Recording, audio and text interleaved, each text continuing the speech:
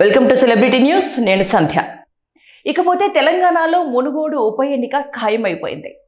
ఇప్పటికే ఎప్పుడు మును ఉప ఎన్నిక వచ్చినా కూడా టీఆర్ఎస్ పార్టీ ఓటమిని చవిచూస్తోంది మనం చూసినట్లయితే దుబాక ఉప ఎన్నిక వచ్చినప్పుడు టీఆర్ఎస్ పార్టీ ఓటమిని చవి చూసింది అక్కడ బీజేపీ పార్టీ గెలిచింది. అలాగే హుజరాబాద్లో కూడా టీఆర్ఎస్ పార్టీ ఓటమిని చవి చూస్తుంది ఇప్పుడు ఇక మునుగోడు ఉప ఎన్నిక ఇటు మూడు పార్టీలకు ఒక ఛాలెంజింగ్గా అయ్యాయి. ఎందుకు మూడు పార్టీలకు ఛాలెంజింగ్గా అయ్యాయి? అంటే కాంగ్రెస్ పార్టీలో రాజగోపాల్ రెడ్డి ఒక సీనియర్ నేత. రా కాంగ్రెస్ పార్టీలో జరిగిన అవకతవకలు కావచ్చు సీక్రెట్స్ కావచ్చు కాంగ్రెస్ పార్టీలో జరిగిన ఎన్నో సంభాషణలు ఎన్నో విషయాలు తనకు తెలుసు.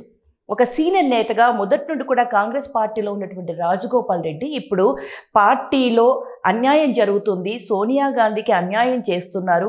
శత్రు పార్టీతో చేతులు కలిపి పార్టీని పట్టించుకోవట్లేదు అనేటువంటి ఒక విషయాన్ని అని చెబుతూ తను బయటికి రావడం జరిగింది. రాజీనామా చేయడంతో పాటు ఇటు తన పదవి ఎమ్మెల్యే పదవికి కూడా రాజీనామా చేశారు. ఇకపోతే ఇంకా మునుగోడు ఉప ఎన్నిక అనేది ఖాయమైపోయింది. అయితే అసలు ఇది ఎవరు కూడా ఎక్స్పెక్ట్ చేయలేదు. ఎందుకంటే సాధారణ అసెంబ్లీ ఎన్నికలు రాబోతాయి ఇంకో ఈ సంవత్సరంలోనూ లేదా సంవత్సరంన్నరలోనూ రాబోతాయి.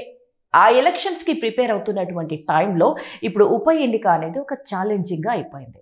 అయితే రాజగోపాల్ రెడ్డి బయటికి వచ్చిన తర్వాత కాంగ్రెస్ శ్రేణులు సంబరాలు చేసుకున్నారు.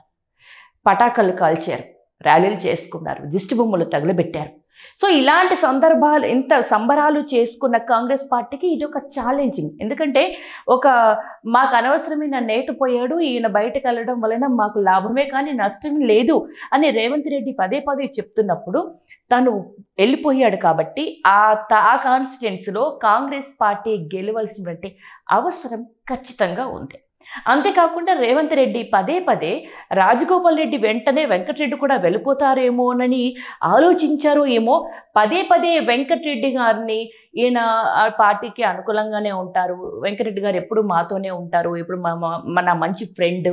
ఇతను పార్టీ దాటి బయటికి వెళ్ళే ప్రసక్తే లేదు అని పదే పదే వెంకటరెడ్డిని మధ్యలోకి రావడంతో ఇప్పుడు వెంకటరెడ్డి కూడా సీరియస్ అవ్వడం జరిగింది. అవును తను చెప్పిన దాంట్లో తప్పే ఉంది. ఎవరికి నచ్చిన పార్టీకి వాళ్ళు వెళ్తారు. మనకు తెలిసిన సామెతే కదా. రాజకీయాల్లో శాశ్వత శత్రుత్వం కానీ శాశ్వత మిత్రత్వం కానీ ఉండదు. ఎవరు ఏ పార్టీకైనా వాళ్ళ సొంత లాభాల కోసం కావచ్చు కాన్స్టిట్యున్సీ కోసం కావచ్చు వాళ్ళ అభిమానుల డిమాండ్స్ కోసం కావచ్చు. సో కారణాలు ఏదైనా సరే పార్టీ మారడం అనేది సర్వసాధారణమే. సో దీనిని నా నన్నెందుకు మధ్యలో లాగుతున్నారు అంటూ వెంకటరెడ్డి రేవంత్ రెడ్డికి ఒక విధంగా షాక్ ఇచ్చినట్టే. అంటే వెంకటరెడ్డికి రేవంత్ రెడ్డికి వెంకటరెడ్డి అనుకూలంగా లేడు అనేది ఈ కామెంట్తోని మనకు అర్థమైపోతుంది.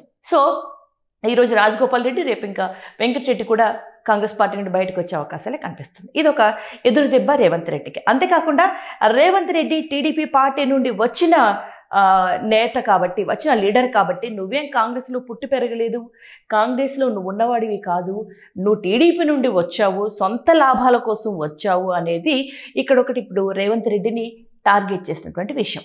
ఇకపోతే ఈ మనం మొన్న చెప్పుకున్నాం మనం. ఇప్పుడు ఈ సీనియర్ నేతలు పక్కకి వెళ్ళిపోతే యువ నేతలకి అవకాశం ఉండే ఛాన్సెస్ ఉన్నాయి. వీళ్ళు వెళ్ళిపోతేనే ఇంకా యంగ్స్టర్స్ బయటకు వస్తారు. సో వాళ్ళ వల్ల పార్టీ ఇంకొంచెం పునర్జీవం పూసుకునే అవకాశం ఉంటుందని మనం అనుకున్నాం. కానీ ఇక్కడ మళ్ళీ కూడా ఈ సీనియర్సే పోటీ పడే అవకాశం కనిపిస్తుంది. ఈ సీనియర్సే మళ్ళీ అంటే ఎన్నికల ఇన్ఛార్జ్ కానీ ప్రచార కమిటీ ఇన్ఛార్జీలు కానీ మళ్ళీ మధ్యాష్కిని నియమించడం జరిగింది. సో మళ్ళీ ఈ సీనియర్స్ మధ్యనే పోటీ కంటిన్యూ అవుతుంది కానీ ఇంకా యంగ్స్టర్స్కి అవకాశం పెద్దగా ఏమీ లేదని చెప్పాలి. మరి కాంగ్రెస్ పార్టీ దీన్ని ఛాలెంజింగ్గా తీసుకొని మునుగోడులో గెలుస్తుందా లేదా చూడాలి. ఇకపోతే మనం బీజేపీ గురించి చూసుకున్నట్లయితే ఇక అసెంబ్లీ అంటే నెక్స్ట్ ఎలక్షన్లో తెలంగాణలో బీజేపీ పార్టీ అధికారంలోకి రావడమే టార్గెట్గా బీజేపీ చాలా స్పీడ్గా తన ప్రచార కార్యక్రమాలు చేస్తుంది. ఎందుకంటే ఎవరైనా కూడా ఎన్నికల నోటిఫికేషన్స్ వచ్చిన తర్వాత ఎన్నికల ప్రచారం మొదలైన తర్వాత ప్రధానమంత్రి స్థాయి వరకు ప్రచారానికి వచ్చే అవకాశం ఉంటుంది. కానీ అలాంటివి ఏమీ కాకుండానే ఎలక్షన్ నోటిఫికేషన్ కాదు ఎన్నికలు ఇప్పుడు వస్తాయని కూడా చెప్పలేము అని అంటూనే ప్రధానమంత్రితో బహిరంగ సభ పెట్టడం కానీ ఈరోజు బండి సంజయ్ ప్రజా సంగ్రామ యాత్ర కానీ మనం చూస్తున్నాం. సో బీజేపీ మంచి దూకుడు మీద ఉంది. ఇది రెండు సార్లు ఉప ఎన్నిక వచ్చినప్పుడు బీజేపీకి ప్లస్ అయింది అటు దుబాక కానీ ఇటు హుజరాబాద్ కానీ. ఇక ఇప్పుడు కూడా ఇప్పుడు టీఆర్ఎస్ పార్టీ నుండి బయటకు వచ్చిన ఈటల బీజేపీలో చేరి అక్కడ గెలవడం జరిగింది. ఇప్పుడు కాంగ్రెస్ నుండి బయటకు వచ్చిన రాజగోపాల్ రెడ్డి బీజేపీలో చేరి అదే కాన్స్టిట్యున్సీలో మళ్ళీ గెలిచే అవకాశమే కనిపిస్తోంది. ఎందుకంటే ఇక్కడ పార్టీ కంటే స్థానికంగా ఉన్న వ్యక్తికే ఇంపార్టెన్స్ ఇస్తారు ప్రజలు. ఆ స్థానికంగా తను చేసిన అభివృద్ధి కార్యక్రమాలు కానీ స్థానికంగా తనకున్న పట్టు కానీ మనం చూసుకున్నట్లయితే మళ్ళీ అంటే బీజేపీయే ఈ మూడు ఉప ఎన్నికల్లో గెలిచే అవకాశం ఉంది. అయితే మనం చాలాసార్లు అనుకుంటాం డబ్బుంటేనే రాజకీయం డబ్బు ఉన్నవాడు ఏదైనా చేయగలడు అని. సో ఈ లెక్కన టీఆర్ఎస్ పార్టీ కొన్ని కోట్ల రూపాయలు ఈ రెండు ఉప ఎన్నికల్ని ఛాలెంజింగ్గా తీసుకొని ఖర్చు చేసిన సందర్భాలు ఉన్నాయి మనం చూసాం. ఓటుకు ఇంత అని కాకుండా ఇండైరెక్ట్గా కూడా చాలా ఖర్చు పెట్టింది టీఆర్ఎస్ పార్టీ. అయినప్పటికీ కూడా ఓటమి చవి చూస్తుంది. ఇప్పటికీ తెలంగాణ రాష్ట్ర సమ రాష్ట్ర వ్యాప్తంగా కూడా టీఆర్ఎస్ పార్టీకి కొంత వ్యతిరేకత అనేది కనిపిస్తోంది. కేవలం కుటుంబ పాలనే అవుతుంది. కుటుంబం మాత్రమే బాగుపడుతోంది. నిరుద్యోగులు కానీ రైతులు కానీ ఎవరు లాభపడట్లేదు. అనుకున్న అంటే మనం ఏదైతే ఉద్యమంలో ఏదైతే అనుకున్నామో దేనికోసం అయితే తెలంగాణ తెచ్చుకున్నామో ఆ తెలంగాణ టీఆర్ఎస్ ఆధ్వర్యంలో రాలేదు అనేది ఎక్కువగా వినిపిస్తున్నటువంటి మాట. అంతేకాకుండా సర్పంచ్ స్థాయి నుండి కూడా నిధులు మంజూరు చేయకుండా అభివృద్ధి కార్యక్రమాలకు ఉపయోగించిన నిధులను కూడా మంజూరు చేయకుండా గవర్నమెంట్ అడ్డుకట్ట వేస్తుంది ఇబ్బందులు పెడుతుంది అని సర్పంచ్ స్థాయి నుండి కూడా ఎన్నో విమర్శలు వస్తున్నాయి. సో ఈ నేపథ్యంలో టీఆర్ఎస్ పార్టీని కొంత ఓడించాలి అనేటువంటి ఆలోచనలో ఇటు యువత కావచ్చు ఇప్పుడు ఇతర పార్టీలు అంటే ఇప్పుడు మన తెలంగాణ రాష్ట్రంలో చూసుకున్నట్లయితే త్రికోణ పోటీ అనేది స్పష్టంగా కనిపిస్తుంది. ఇప్పుడు బీజేపీ కాంగ్రెస్ టీఆర్ఎస్ పార్టీని ఎలాగైనా ఓడించాలి అనేటువంటి మొండిగా ఉన్నాయి. ఇకపోతే కాంగ్రెస్లో చాలామంది టీఆర్ఎస్కి పాజిటివ్గానే ఉన్నారు వాళ్ళకి ఇన్ఫార్మర్గా ఉన్నారు వీళ్ళందరూ కూడా కేసీఆర్ కిందే పనిచేస్తున్నారు అనేది అందరికీ తెలిసిన విషయమే.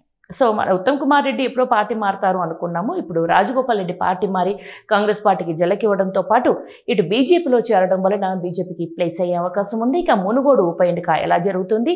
ఈలోగానే ఇప్పుడు పార్టీ నుండి బయటికి వచ్చిన తర్వాత జరిగే విషయాలు ఏంటంటే ఆ పార్టీలో జరిగిన అవకతవకలు ఏంటి వాళ్ళు వాళ్ళ వల్ల ఎలా ప్రవర్తించారు అసలు వాళ్ళ వ్యూహాలేంటి ఇవన్నీ కూడా ఒకరినొకరు దుమ్మెత్తు పోసుకుంటూ ఒకరినొకరు విమర్శించుకుంటూ వాళ్ళ లోపాలని బయటపెడుతూ ఉంటారు. సో చూడాలి మరి కాంగ్రెస్ పార్టీ నుండి ఇంకా ఏమి ఎంతమంది బయటకు వస్తారు. దీంతో పాటు వరంగల్ కరీంనగర్ నుండి కూడా పార్టీ నుండి బయటకు వచ్చే అవకాశాలు కనిపిస్తున్నాయని వార్త హల్చల్ చేస్తుంది. టీఆర్ఎస్ పార్టీ నుండి కూడా వరంగల్ కరీంనగర్ పార్టీ ఈ ఈ నియోజకవర్గాల నుండి చాలామంది బీజేపీలో చేరడానికి ఇంట్రెస్ట్గా ఉన్నారు అనేటువంటి వార్త కూడా హల్చల్ చేస్తుంది. సో ఈ లెక్కన టీఆర్ఎస్ పార్టీలో కానీ కాంగ్రెస్ పార్టీలో కానీ అసంతృప్త నేతలు ఎవరైతే ఉన్నారో ఈ అసంతృప్త నేతలు ఖచ్చితంగా కూడా బీజేపీకి వెళ్ళే అవకాశమే మనకు కనిపిస్తుంది. చూద్దాం ఏం జరుగుతుందో.